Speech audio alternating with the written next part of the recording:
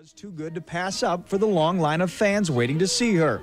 Meanwhile, the camera brigade was in full force for the man and posed for pictures, but not before making herself comfortable. Here, I'll tell you a secret. I just took my pantyhose off under the counter. And you didn't even notice, did you?